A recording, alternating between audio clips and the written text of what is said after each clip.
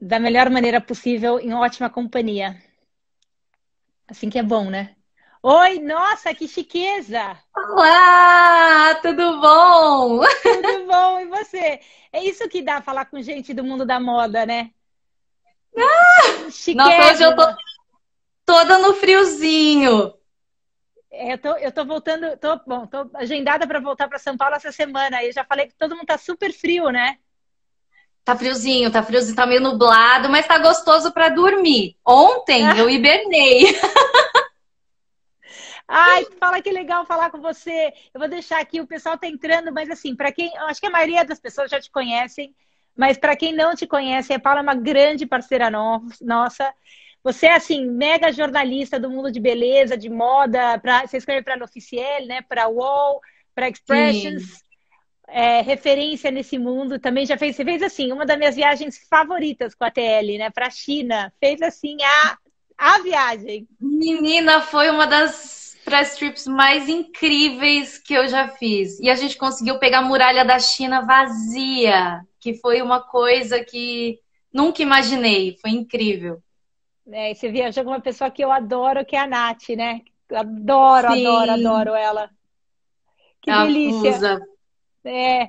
Ai, não, Paulo, eu estou super ansiosa para falar com você, porque eu sei que você escreveu um livro que está assim mais em auge e tem um, um timing super importante para a mulher e foi um tema que eu vou falar que assim nunca não sei eu acho que a gente nasce sem o conhecimento tanto de tudo isso como criança né e conforme você vai crescendo no mundo profissional você vai e vai navegando e tal. E no até nós fizemos, não sei nem se sabe, a gente fez um, uma campanha, eu acho que era para o Dia das Mães ou Dia da Mulher, agora eu estou esquecendo, mas foi uma campanha muito legal que foi a campanha do elogio, né? Focando em uma mulher fazer, aliás, qualquer pessoa elogiar uma mulher, porque eu acho que é um presente que a gente pode se dar sem nenhum custo, é, não é um grande esforço, e que muitas vezes a gente pensa, né? Nossa, essa mulher é incrível, ou nossa, como ela é linda, ou como ela é inteligente, ou qualquer. Só que a gente não, não fala, não põe pra fora. É. A gente fez uma campanha lá atrás sobre isso, e aí, dentro do nosso brainstorm com a TL, com a Paty, com a Fernanda e tal, a gente começou a debater sobre o tema, e aí, de repente, você se conecta muito mais com ele. É, eu adoraria, assim, antes de mergulhar nesse tema, que você escreveu um livro, que você agora vai dar uma aula aqui, eu adoraria que você contasse um pouquinho da tua história e como é que você chegou até esse momento de escrever o livro, né? De definir essa, esse momento tão importante. Será que a conexão tá ruim? What's the topic? Ih, travou. Ai, voltou. voltou. Nossa, tinha dado uma travada. Voltou. É. Mas conseguiu ouvir? Conseguiu ouvir, não? Quer que eu sim, repita? Sim, sim, tá Não, sim, ouvi. É, não, eu... Ah, então tá. Da doio, né? Uma coisa tão... A gente acha, às vezes, que na correria do dia a dia, que não é necessário. Mas às vezes, é. É, você falar com uma outra pessoa e uma amiga ou uma desconhecida talvez faça uma diferença no dia daquela pessoa que é surreal. E é uma coisa tão simples, é um elogio.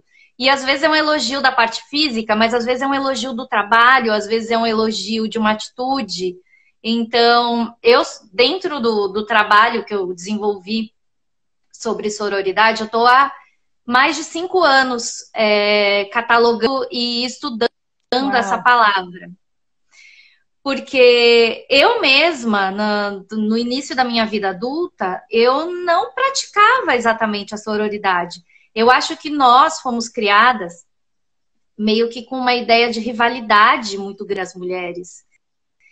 E, e de pouco tempo para cá isso vem mudando. E aí quando eu comecei a entender o que é sororidade, o que é essa união, o que é essa irmandade, esse vínculo de afeto entre mulheres, que eu comecei a ver que a minha vida foi ficando melhor.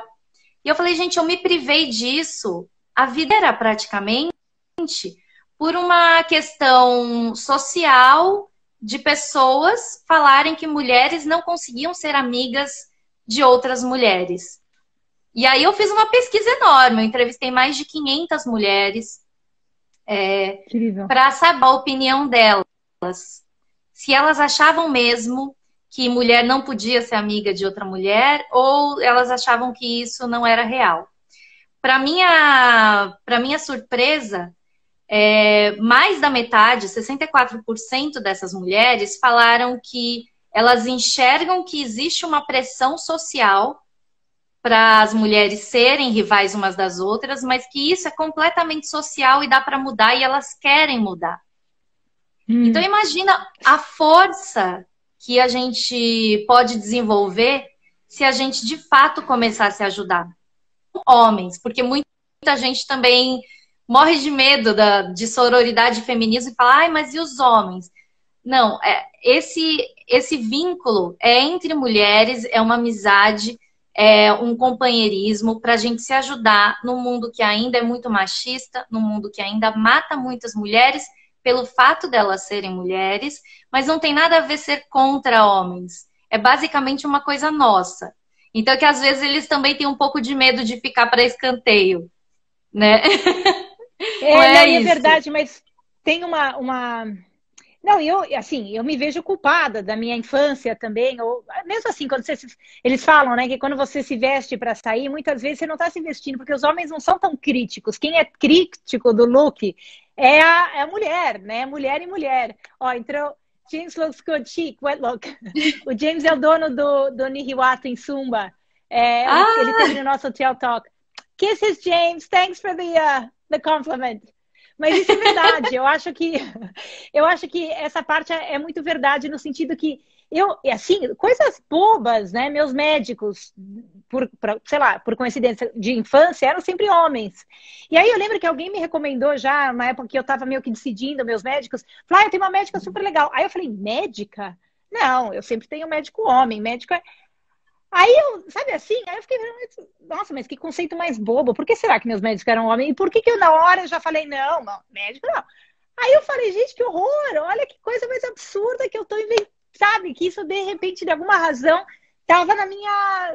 E é um horror isso, né? Porque se a gente não vai se ajudar. É, às vezes, às vezes a gente, a gente segue um padrão e a gente nem sabe exatamente o porquê tá seguindo esse padrão. Exato. E é uma coisa que eu falo muito no livro, assim. É, às vezes a gente olha para uma outra pessoa, eu olhava para outra mulher e falava, ah, não, eu não. É isso mesmo, às vezes até de médico, às vezes até assim, ai, quais são seus ídolos? Você começa a pensar assim, tem muitas mulheres que já me relataram, são muitos homens, figuras masculinas. E cadê as figuras femininas? É, e existem essas figuras femininas na sua vida, só que às vezes a gente deixa em segundo plano.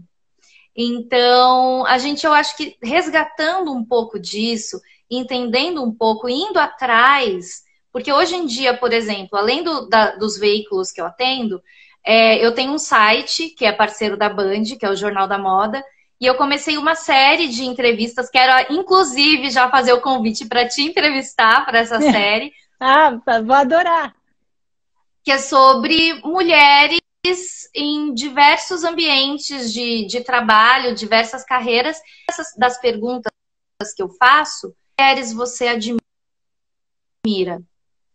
Quais são as mulheres que você, assim, pode ser do, do, do showbiz, pode ser alguém da família, pode ser algum, sei lá, médica, cientista, empresária. E aí ela sempre falou, nossa. Aí a primeira resposta é minha mãe. Aí a gente uhum. pensa, a gente figura feminina desde sempre, muitas pessoas, que é muito forte, que é a figura materna. Muitas vezes uma avó, muitas vezes uma tia. Então, por que, que a gente deixa, às vezes, de lado essa força feminina? Que desde a primeira infância a gente tem. Nossa, isso eu é, acho é assim, muito, de dar arrepio, é, muito, é muito forte. louco isso, né? É muito, muito forte. E assim, eu, mas era uma das coisas que para mim sempre foi muito difícil, né? Eu cresci e eu sempre fui uma menina. eu, eu diria até um pouco tomboy, assim. Eu sempre tinha amigos, né, meninos. Eu uhum. tinha dificuldade de, de ter aqui. Eu olhava para aquele grupo de meninas, né, que sempre tem um grupinho da, da, sei lá, um grupinho de meninas que são.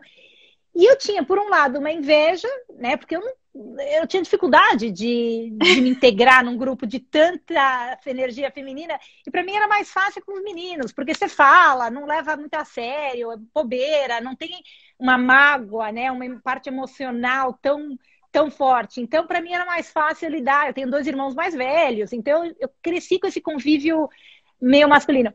E aí foi muito engraçado porque quando eu comecei a entrar no mundo de trabalho é, eu comecei a me identificar só com mulher eu falava, gente, mas não dá para trabalhar com esses caras. Eles não. Eu não conseguia. Não sei o que, que era. Era, era um, uma possibilidade de multitask, de fazer um monte de coisa ao mesmo tempo, de uma energia de. De repente, hoje eu tenho uma empresa com 17 mulheres, não tem um homem. Pois é. É. é olha. Mas a minha Incrível. história foi bem assim também, porque eu tenho um irmão mais velho, eu sempre andei com meninos, é, era isso. Eu também achava que eu não me enquadrava no grupo das meninas, que eu achava que eu era muito, talvez, bruta, assim, eu queria brincar de formas que as meninas não, sei lá, elas não, não gostavam. É. E eu me encaixava melhor. Quando eu morei fora, morei na Inglaterra, morava com amigos meninos boa parte do tempo. Mas é, eu acho que também existia um, sei lá, um, um, um olhar sobre o que é feminino que era muito pasteurizado. Então a mulher é frágil, a mulher chora, a mulher é, não aceita tais tipos de brincadeira. E... Só que isso foi se quebrando com essa onda de meninas mais novas, super poderosas, que entendem muito do feminismo, falando, não, eu sou tão feminina quanto a menina que, que usa rosa e lacinho, mas eu gosto de jogar bola. Sabe? É. Então, eu acho que hoje, atualmente, existe um, um caminho verso para o feminino. Então, você pode ser uma, uma menina que anda mais meninos, que tem mais esses trejeitos e achar outras meninas iguais a você ou você pode ser super delicada também. E aí, assim, tem mulher que quer ter filho, tem mulher que não quer, tem mulher que trabalha fora, tem mulher que quer cuidar da família. E tudo bem. Eu acho que é abraçar essa diversidade. Porque antes também eu não conseguia abraçar muito essa diversidade. Eu imagina, porque eu sou super independente desde cedo, comecei a trabalhar muito cedo e morei sozinha, já mudei de país. Então eu olhava as minhas amigas que queriam casar e ter filho e eu falava, ai, credo, sabe? Assim, eu não. Aí você fala, gente, mas é, é, a, é a, individualidade da pessoa. Então. Nem, não tem nada isso, de errado com isso. Nada, nem um pouco. Tem errado você se incomodar com isso, porque se tá te incomodando é porque tá pegando em alguma coisa sua. Então, dentro desse conceito de sororidade, é, é você olhar para outra e, e, isso é uma coisa muito interessante também quando eu entro num assunto muito, muito sério, que é a violência doméstica, por exemplo. Se você conversa com uma mulher que foi vítima de violência doméstica, muitas mulheres, sem pensar, é, principalmente se são amigas ou parentes, vão falar assim: por que, que você tá com esse cara? Larga esse cara agora, você é doida. E, cara, às vezes esse primeiro impacto da pessoa te contar que ela está sofrendo uma agressão, se você tem essa, essa atitude reativa, vai fazer com que essa mulher não te conte mais e ela se feche. Então, Exato. assim, é você olhar para outra mulher dentro da singularidade dela e você tentar ajudá-la da melhor forma. Então, você não sabe se essa mulher que está vivendo um relacionamento abusivo, se ela tá dentro de um ciclo de violência que ela acha que o cara vai melhorar. Ou ela tem filhos com, com esse cara e ela não quer deixar os filhos com o cara, ou ah, o cara vai visitar meus filhos e ele, ele vai ficar sozinho com meus filhos. E se ele foi agressivo comigo, talvez ele seja agressivo com as crianças. Ou é uma dependência financeira, econômica que foi construída, normalmente é construída ao longo de anos. O cara começa super fofo, ah, não precisa mais trabalhar, Você pode ficar em casa cuidando da família. E nisso você perde o seu rendimento. E quando você vê, você está preso naquilo. Então, eu acho que a gente tem que tentar entender essa singularidade das mulheres de coisas simples, de não quero ter filho, quero, ou na hora de ajudar numa coisa prática, que a minha amiga está sofrendo violência doméstica, ou minha vizinha, que eu não conheço, mas eu estou ouvindo. É. Não, eu acho que também tem um. Não, não lembro nem qual foi a campanha. Uma das empresas fez uma campanha super legal é, nos Estados Unidos, você deve ter visto, que é eles pegam a geração, nossa geração, até um pouco mais nova, e fala, joga a bola como se fosse uma menina, né? Throw like a girl, é, run Sim. like a girl, faz tudo como uma menina. E eles fazem tudo meio, né? Meio que sem força, sem garra, sem. E aí eles pegam a geração muito mais nova, meninas de 5 anos, 10, abaixo de 10 anos, e falam run like a girl, e elas saem assim. é muito. Nossa, é emocionante. Você olha e fala, nossa, como é que a gente fez isso? Que bobagem, né? Que erro é. de comunicação, não, que isso... a gente se, se desvalorizou, não sei, uma coisa bem louca. Mas quando eu assisto aquele. É uma campanha, você fala, nossa, que, que lindo, né? Espero que, ela, que elas não se percam nesse, nessa diferença de geração. É, então, essa campanha foi uma campanha da Always que entrou no intervalo do Super Bowl, foi super premiada. Mostra muito isso, que às vezes a gente coloca o feminino como, sei lá, inferior. É. é, como uma questão completamente social, porque se você pega uma criança, uma menininha, e você fala like a girl, ela vai ser super power, entendeu? O Like a Girl para ela vai diminuir o valor, talvez, ao longo da idade dela. Claro. Que o entorno vai falar: não, você é frágil, você não pode fazer isso. Às vezes a gente vê esse tipo de educação sendo colocada em casa e não é uma coisa assim que os pais querem fazer por, sabe, maldade é, é que vem de muitas gerações. É. Do pai, da avó, do bisavô, daquilo do, da mulher ser aquela, aquela pessoa que tem que ser protegida. Imagina, gente, é. já, não, já faz tempo que não dá para ser assim. Trabalhamos, estudamos, é, cuidamos da nossa vida, que a gente seja é casado ou tenha filhos não, não tem mais isso de, ah, não, é secundário, ou então é a, a, protetora. Meu, a gente também tem que se proteger, tem que proteger a família, tem que, enfim, tem os nossos sonhos também, né? Porque muitas não, vezes a mulher é dúvida. é anulada, né? A gente é. pensa assim, ah, é mãe ou é esposa, e aí fica em segundo, terceiro plano. E nisso a nossa qualidade de vida vai para o espaço. Que a gente chega, é. sei lá, com 50 anos exausta, querendo, sei lá, meter o pé em tudo e sair por aí, sei lá, fazendo um milhão de coisas. E não é para deixar para viver só com 50. Depois. É, não, e é muito louco, porque eu tenho gêmeos, né? Eu tenho uma menina e um menino. Então eu tenho um casal, eles estão, vão fazer dois anos mês que vem, ou daqui a um mês e pouco. E é muito engraçado você ver eles nasceram juntos, né? Tudo juntos.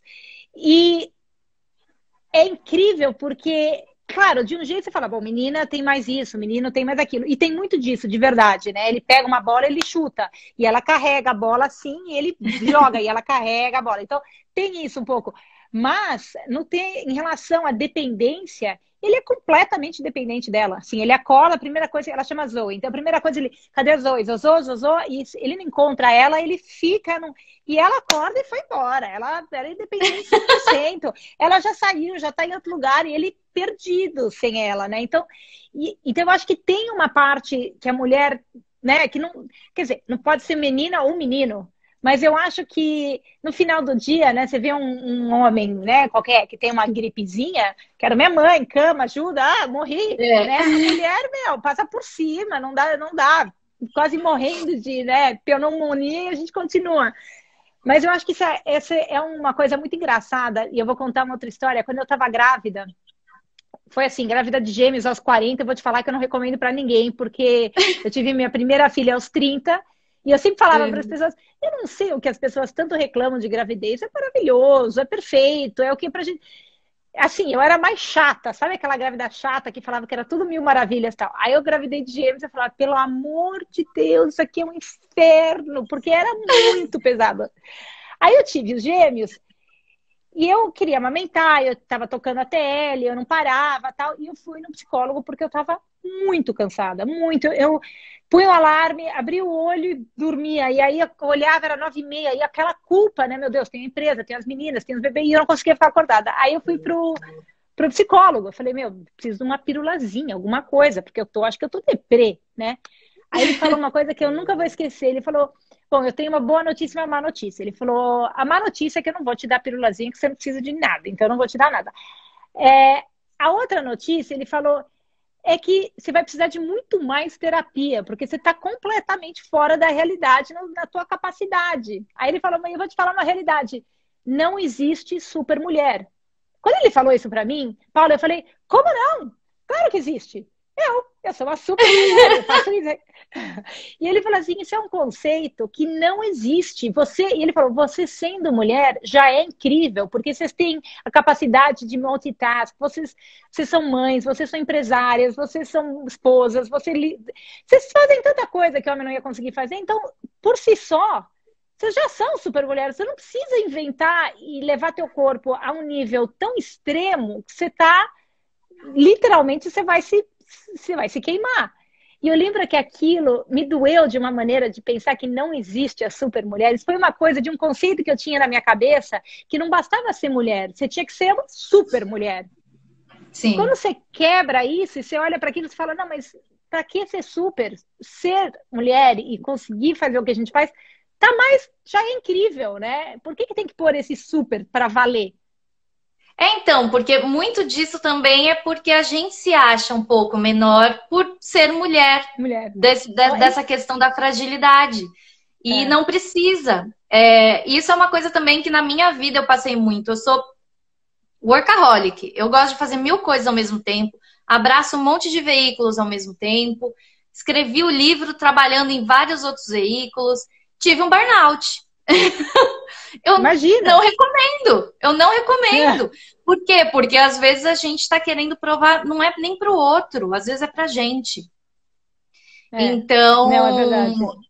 esse negócio de não, mas eu dou conta, mas eu chego em casa, eu faço tudo, minha família tá tudo bem, eu dou conta. Centralizar tudo. É uma coisa que agora, assim, chegando meus 36 anos, eu falo, não, agora tá na hora de distribuir. Porque não tem que ser tudo em cima de mim, eu não preciso fazer tudo, eu não preciso ser a melhor em tudo, fazer tudo na hora certa. Vai ter dia que nem ontem, vou hibernar, dormir, dormir a tarde inteira. tinha coisa pra fazer? Tinha. Eu falei, eu vou dormir. Ponto. Que delícia, que delícia.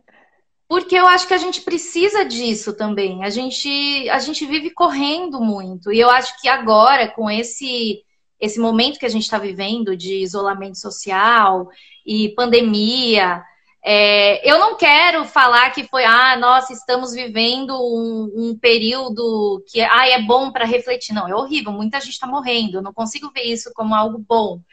Mas, de certa forma, a gente acaba repensando certas coisas. Claro. Eu já começo a repensar. Será que eu quero morar no apartamento ou será que eu quero mudar para uma casa? Depois de ficar presa dentro do apartamento. Ou será que eu quero continuar trabalhando tanto? Porque eu, tanto tempo que eu podia estar fora de casa, e olha que a gente viaja bastante.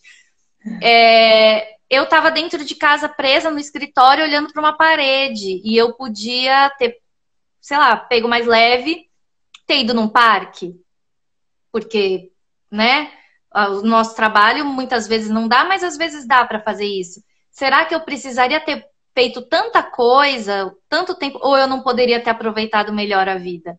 Eu acho que isso também é uma coisa que, não sei, se, eu, eu tô sentindo muitas pessoas pensando nisso agora também.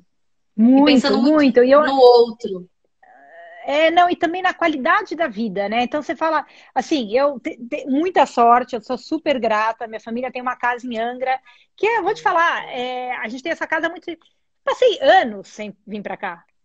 Anos, eu falo, não dá tempo, não dá tempo. Minha mãe fala, não é possível, é tão bom lá, você tem filhos pequenos, não dá, não dá, não dá, não dá como, não sei o quê. Mas tem internet, você trabalha de lá. E eu, naquela euforia, né, ansiedade, sei lá.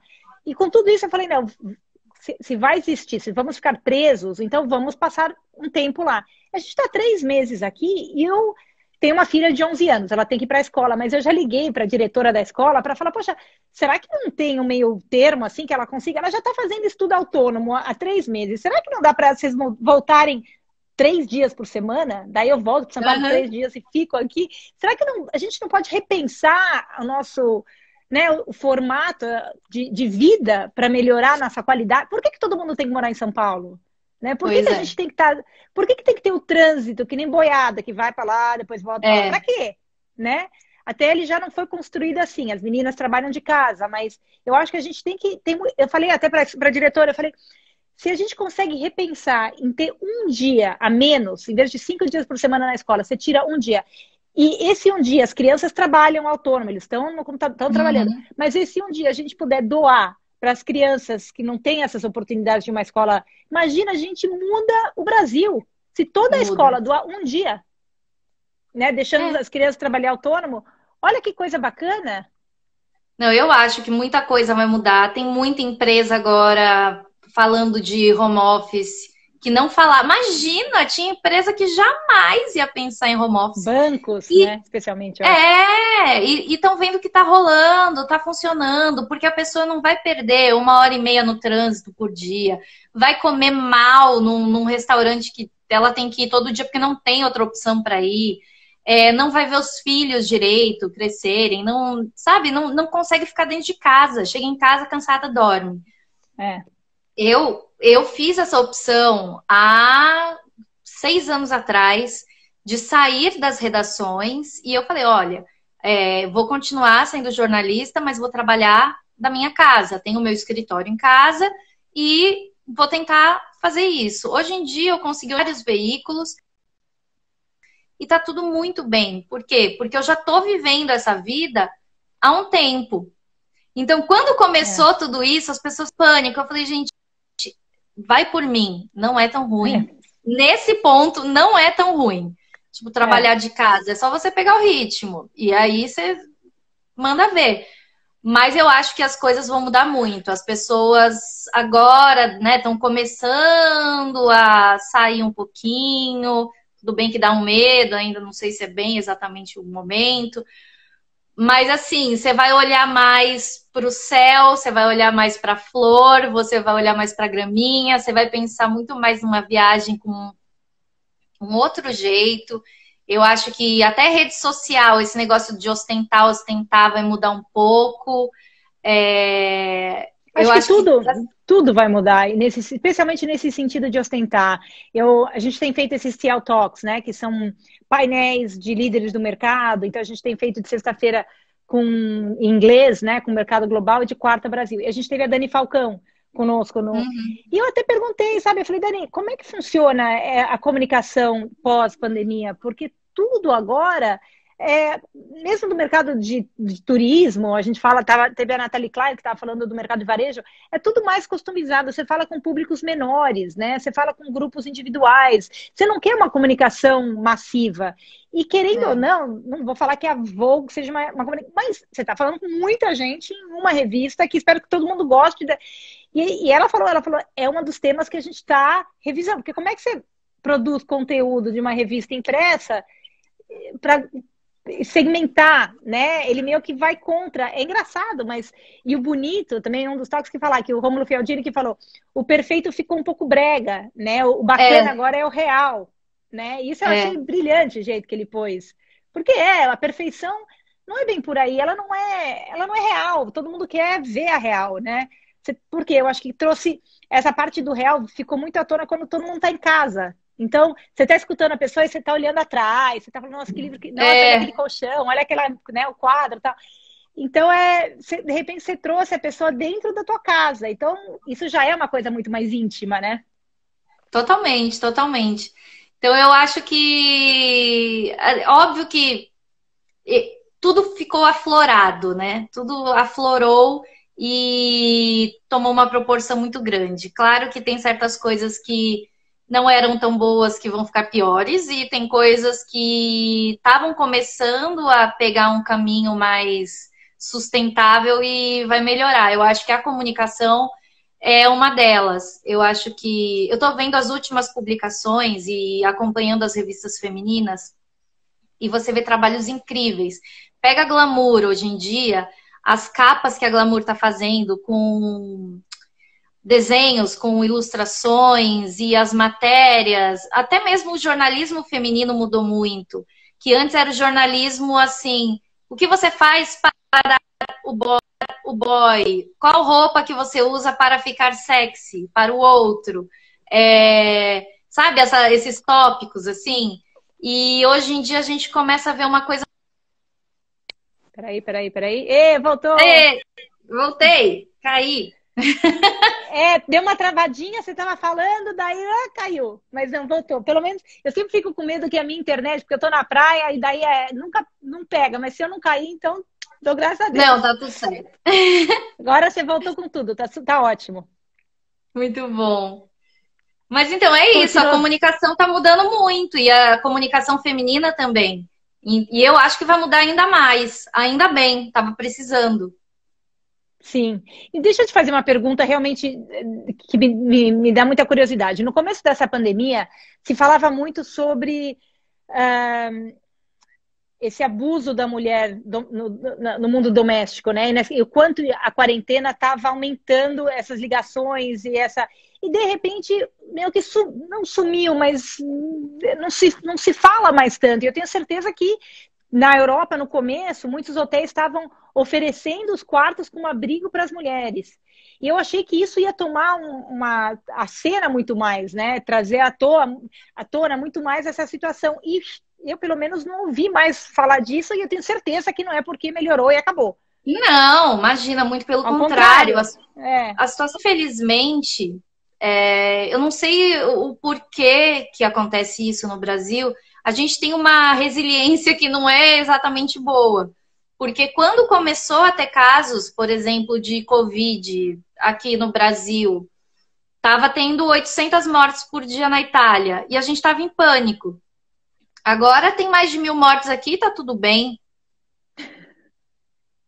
Então, e a mesma é. coisa com, com essa parte feminina.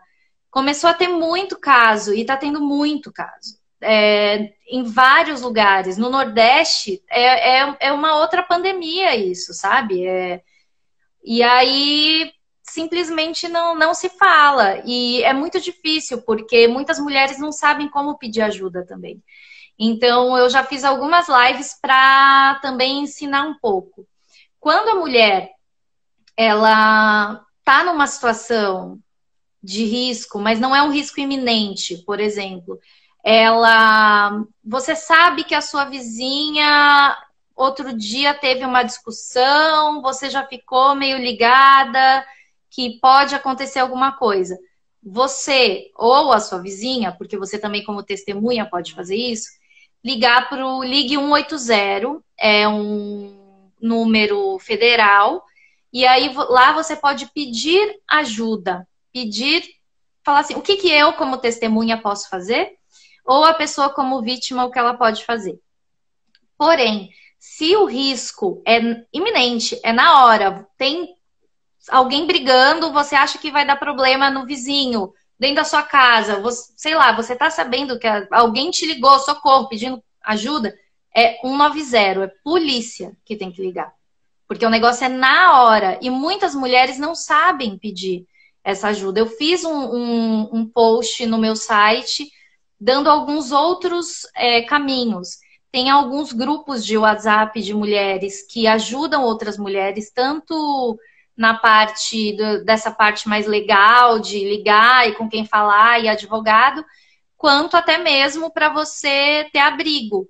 Porque é isso, você está confinada muitas vezes com a pessoa que vai te agredir. E aí, o que, que você faz? Como é que você vai conseguir sair dessa?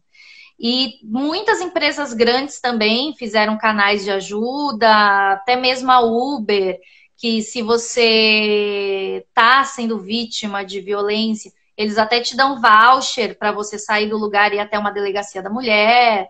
Então tem alguns canais. O problema é que assim, é muito caso, tem muito caso no Brasil.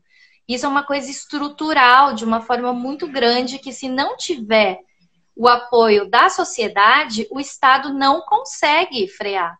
Porque eu falo, se for ver, vai faltar cadeia para tanta gente que agride. Isso é uma coisa que a gente tem que conversar muito. E assim como eu converso muito sobre o poder e a, a importância da sororidade, eu acho que a gente tem que começar a conversar muito com os homens sobre o lado danoso da masculinidade tóxica, do porquê que eles têm que fazer certas coisas que outro nem para eles. Sabe, essa coisa de vou defender a minha honra. Gente, se o relacionamento não está bom, você não pode obrigar uma pessoa a ficar com você. Isso é. não vai ferir a sua honra. Mas assim, é muito difícil ainda, inclusive para meninos que moram em São Paulo, na Vila Madalena, e oh. super instruídos, entendeu? Não é aquela coisa, nossa, acontece só na periferia. Imagina, não, quantas não amigas... é dinheiro que, que, né, que, sei lá, não é questão se você tem não. dinheiro ou não tem dinheiro, ou você tem educação, não tem, infelizmente, isso aí é uma coisa que é uma outra pandemia é uma outra pandemia. E assim, eu acho que, que falta muito a gente conversar. Eu acho que não é um problema que, que a curto prazo a gente vai resolver. É, é muito necessário que crianças e adolescentes é, comecem a entender um pouco mais sobre esse tipo de tema, para que também sejam educados de uma nova forma, de uma forma diferente.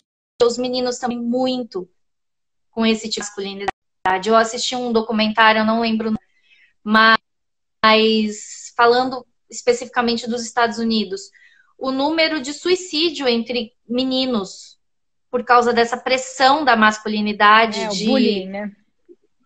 É, então, gente, isso é uma coisa que vai ser a médio prazo.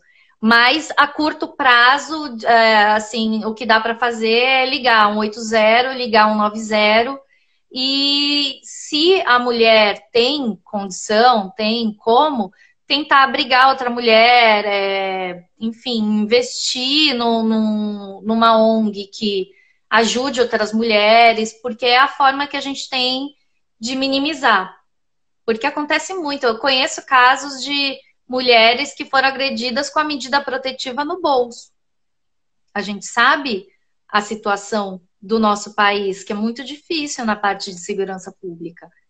Então, e outra, também ensinar as mulheres a entender quando elas estão num relacionamento tóxico. Porque tem muita gente que fala assim: imagina, você já está casada há 20 anos, tenta mais um pouco. Meu, não, às vezes não é tentar. É, é.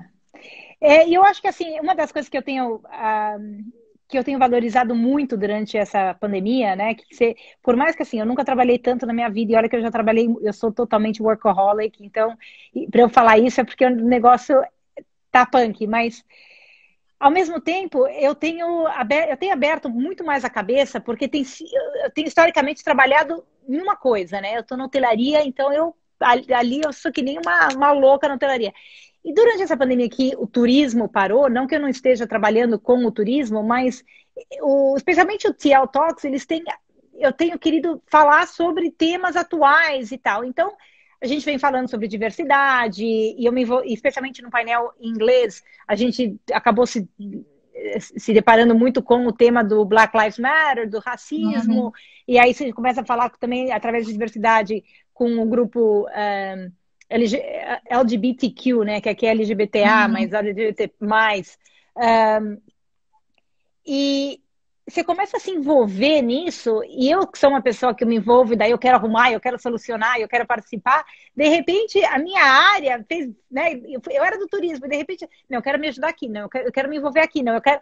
Isso é muito, gost... assim, de um jeito é muito bom, porque você começa a se abrir para para entender a realidade de outras coisas, que eu acho que é importante, Sim. né? A gente não pode viver num túnel, é, mas sem querer, querendo, né? Sem querer a vida da correria era um túnel a mil por hora. E não, por mais que eu queria falar minha mãe né, que não entre meus filhos, minha família, a empresa, salário, cliente, lá, lá você vive nesse, né, nesse, nesse ciclo. E eu acho que isso tem sido muito bacana de poder olhar para fora e falar, bom, eu tenho aqui um momento importante onde eu tenho muita gratidão por poder ter comida na mesa e teto e um tempo de pensar. Então, como é que a gente usa esse tempo para ajudar, né? É, eu falei, eu tive um toque também com a, com a Mari Kupfer, que também é uma mulher super engajada com mulheres, né, com histórias de maternidade e tal. E a gente falou muito disso também, né? Como as histórias no Brasil que as pessoas não conhecem e que ficam dentro de uma bolha daquelas pessoas relacionadas ao tema e que, na verdade, para solucionar, você tem que quebrar a bolha, o negócio tem que ser falado, né? Em diferentes não, setores. Aqui, aqui mais ainda. E eu acho que eu estava conversando sobre isso no final do ano passado, que eu fui num evento do Ferreirinha. Ah, e isso vai respingar cada dia mais no, em todos os segmentos, porque se você pega empresas grandes como Mercedes ou, enfim, outras empresas de luxo, LVMH, o ponto principal deles agora, o topo da pirâmide, eles colocam sustentabilidade como foco. E isso antes, isso foi antes do, da pandemia, do coronavírus. Uhum. Já existia essa essa preocupação. Então, eu acho que. E a parte social logo abaixo. Então, assim, são empresas que estão olhando mais é, para o entorno e para o que elas vão deixar no mundo. Elas querem fazer Sim. parte do mundo e não simplesmente, ah, é o lucro, é o lucro, é o lucro, é o lucro. Tanto que você pode ver agora, por exemplo, esse boicote que está tá acontecendo do Facebook. A Coca-Cola é, Starbucks e mais uma empresa que eles vão tirar todos os, os ads de Facebook, Instagram, por é um boicote mesmo, que é uma parte social que tem relação com o movimento Vidas Negras Importam e fake news, porque é uma rede que uh, Twitter também vai passar por isso, porque é uma rede que dissemina muito fake news e não tem muito um balizador ali dentro. Uhum. Então, eu acho que as empresas vão cada dia mais ter cuidado e querer entender aonde elas estão colocando seus esforços. Então, muitas empresas, há, sei lá, de três anos para cá, entraram nessa, nessa vertente do feminismo e do empoderamento feminino. Algumas delas já não nem trabalham mais com isso porque realmente foi puramente marketing, mas algumas outras entraram e entraram para valer. Tanto que assim, ah, acontece alguma coisa, elas respondem com atitudes que têm relação de fato com, com esse mercado. Então, que nem, por exemplo, no, no, final da semana passada aconteceu uma coisa horrível. Aqui no Alto de Pinheiros tinha uma senhora que estava trabalhando, era quase uma era situação de escravidão. E aí descobriram que a pessoa que era empregadora dessa senhora, ela era uma funcionária da Avon.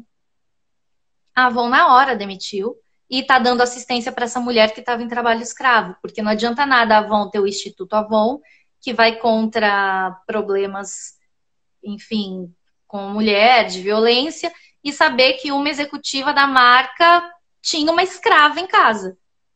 Nossa, então, é, é, esse tipo de coisa, porque vem da rede social, sai da rede social, agora é tudo muito fluido, é tudo muito misturado, é. tudo muito conectado. Nossa, não, e é incrível, eu acho que isso é uma. Tá aí, tá aí uma vantagem, né? Você fala assim, né? Sempre tem o silver lining, né? Dentro de toda a situação difícil, toda a, a o, até uma pandemia, né, uma, uma das maiores crises da história, sempre tem algo bom que sai disso, né? Alguma coisa nasce, que é essa consciência. E eu acho que também, você está falando da sustentabilidade, infelizmente, até o tema da sustentabilidade também, por muito tempo, por mais que ele venha crescendo, ele também tinha uma pegada de marketing, né? Sim. As empresas entravam no blá blá blá de sustentabilidade porque vende.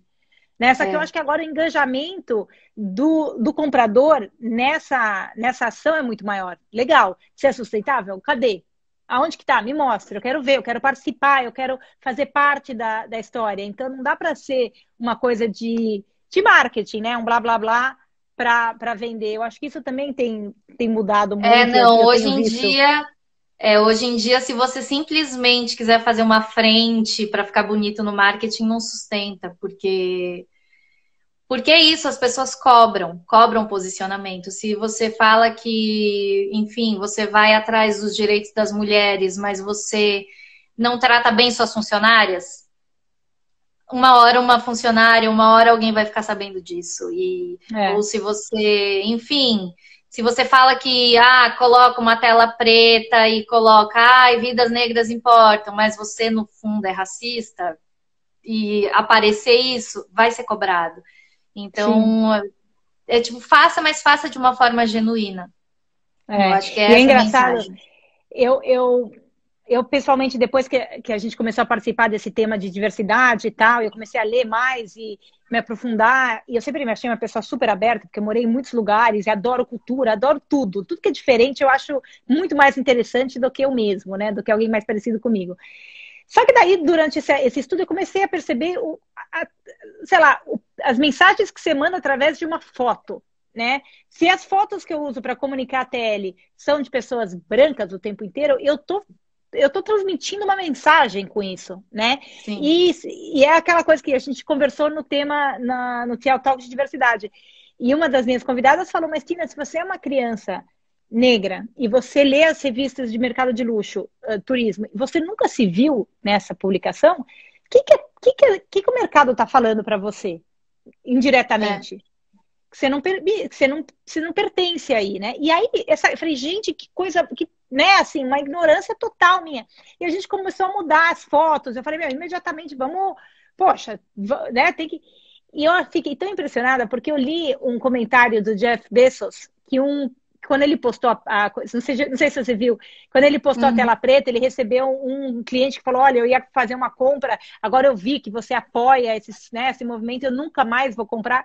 E o Jeff falou: Por favor, deixe de comprar, eu fico feliz você não faz parte da, né, do, meu, do, do meu network. No mesmo dia, o meu mundinho de TL no nosso Instagram, que é deste tamanho, não, não somos influenciadoras, não é o nosso ramo. Não, eu achei incrível que eu tive, eu tive uma pessoa que me escreveu e falou: Eu deixo de te seguir. Por, meio que assim, numa versão micro do Jeff. Eu fiquei. Na hora que eu recebi esse recado, eu meio que não entendi. Eu falei, mas por que ela tá deixando de seguir? Não, não tô entendendo, mas porque.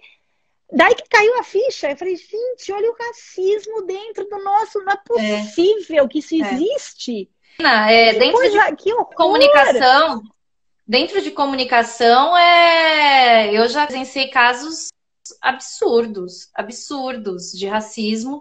E se você fala para a pessoa, você está sendo racista, ela fala: Não, imagina, não, eu tenho é. até amigos.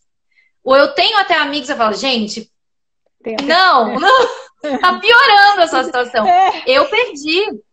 Eu sempre perco seguidores se eu posto, eu postei sobre vidas negras importam, perdi seguidor. É, LGBT, LGBTQ, perdi também seguidores. Muitas vezes falo de feminismo, perco seguidores. Existe. Que louco isso. Um... E eu falo assim, é, gente, bom, de verdade, gente... vai. Vai, Tchau. não precisa é, seguir. Vai com prazer, não quero mais. A gente está fazendo um painel de diversidade na quarta-feira, que vai ser um painel muito legal. A gente tem a Rogéria Pinheiro, que é uma líder no mercado de turismo, que é negra, que é uma mulher incrível. Ai, que legal! é, a gente vai uh, ter a fundadora, a Gabriela Augusto, que é a fundadora do uh, Transcendemos, que é uma organização uh, de consultoria para o mundo trans, que, é incrível, né? Para o mundo LGBT, mas focado nas mulheres trans. E é assim, ela faz um. O jeito que ela conta, e é um. Eu até. Ela conta histórias incríveis, né? então, assim, vamos, a gente vai ter um painel muito bacana que a gente vai trazer o tema para o bate-papo, entendeu? Porque eu acho que isso é a primeira parte, né? A, a, Gabi contou uma história que ela estava entrando numa festa e ela tinha linha, eh, tinha ali para entrar na festa, eles tinham aquela hora que eles né, te revistam para ver se você está trazendo bolsa e tal. E ela entrou na fila das mulheres e quando ela chegou lá, a mulher falou: Não, não vou te revistar. Você tem que ir na fila dos homens. Aí ela chegou na fila do homem, o cara falou: Não, eu não vou te entrevistar. Não. Ah. não, mas aí eu falei, eu falei, Gabriela, assim, por mais que as pessoas não tenham nada contra, a pessoa não sabe como lidar, não é, é uma falta, é ignorância, não é mal. Elas podiam ter um, sabe? Não é simplesmente é, é parte da educação, de falar qual, então, como é que faz, como é que uma empresa faz, né? É, então, eu acho que tem, que a gente tem que conversar sobre o assunto para saber o que fazer, para fazer o certo. Porque tenho certeza que a mulher e o cara que estavam revistando não fizeram por. Talvez, talvez fizeram, é. mas vamos dizer que eles não fizeram por mal. Não, eu, eu foi agora, né? Assim, pouco mais de tempo atrás, que eu tive uma conversa com pessoas, assim, eu falei, gente, mas agora tá entrando essa questão. É negro? É preto? O que vocês preferem? Que fale? Porque, gente, eu não sei. Eu acho que quando a gente não sabe, a gente tem que perguntar e perguntar na fonte. E falou, não, a gente prefere preto. Mas teve alguns que falaram negro. Aí depois eu falei, gente, vocês estão me deixando confusa. Não, mas posso, posso te falar uma coisa? Antes de eu fazer o meu toque para os Estados Unidos, eu fiquei uma semana estudando isso para não falar errado, para não né, eu estou tentando fazer uma coisa para ajudar, para levantar o tema, e todo mundo me falava, Tina, meu, aborta, não faça esse toque, porque você vai sair queimada. Eu falava, mas não é possível, eu não vou não fazer por medo. Eu sentia que eu estava entrando na, na, guerra, assim, que eu ia levar pedrada é. na cabeça. Falei, bom, e eu fiquei ligando, convidei um monte de, de amigos, convidados, tal, não sei o que, então e eu, uma, uma, amiga minha me ligou e falou: Olha, Tina, cuidado, você não pode falar. No inglês é, o, é diferente, né? Então você não pode é, falar isso, é. você não pode chamar aquilo, você não pode fazer isso. Então, o correto, não podia falar se a pessoa era preta, você tinha que falar que era parte da comunidade preta. Era essa era a frase, né? E aí eu tinha alguns convidados meus que é, são African Americans. E aí eu perguntei para eles, falei, olha, só para alinhar, né? Eu não posso falar isso, não posso falar isso, tá certo, né? Eu só posso falar Black Community, né? Aí eles falaram assim, não, não, Tina, isso são as regras dos brancos. Mas para ah! nós, você falando de nós, assim, se você falar um outro, meu, pra gente não tá nem aí. Só que se você falar errado, os brancos vão achar que você é racista. Então, cuidado entre vocês, entendeu? Porque pra nós. Aí eu falei, olha que louco, peraí, então para vocês tá tudo bem, mas para Não, assim, não tem escapatória. Ela falou, por isso que ninguém quer falar, porque tem muito. É muito então, só que, só que eu acho que de verdade, agora é o nosso momento de, uh, como brancos, a gente precisa entrar nessa, nessa linha de frente antirracista. Falando certo, Não. falando errado, a gente então, tem. Eu, eu, comecei assim, eu falei, primeiro de tudo, eu quero falar o quanto difícil estou tá fazendo isso e eu agradeci todo mundo que estava no painel. Eu falei, meu, vocês estão comigo aqui, todo mundo pisando em ovos, mas vamos lá, porque acho que é importante a gente falar do assunto. E era muito legal, porque vieram um monte de convidados, né, da, da, da comunidade preta ou negra, não sei qual. E, e eles falavam, meu, tamo, tá, tá, tudo certo, vamos lá. Tipo, fizeram uma, né, um grupo falar, meu, estamos aqui com uma intenção boa, era uma intenção positiva para ajudar, para melhorar, para Então, o importante é falar. Eu falava, tá bom, tá bom. Mas no final eu acho que daqui para frente esse é esse tipo de coisa, assim, eu acho que, por exemplo, no, dentro do meu segmento, ainda a gente precisa conversar muito sobre feminismo. As pessoas morrem de medo da palavra. Assim, e pessoas que eu falo, homens, mulheres, mulheres mais velhas, mulheres da minha família. Já teve amigo meu que falou assim, Paula, mas você é feminista? Amigo, de muitos anos. Quando eu falei que eu estava fazendo o livro, mas você é feminista? Eu falei, sou. Ah, mas você não parece feminista. Eu falei, o que, que é para você feminista? Ah, é sempre brava. Eu. então tem, um, tem uma aura, entendeu?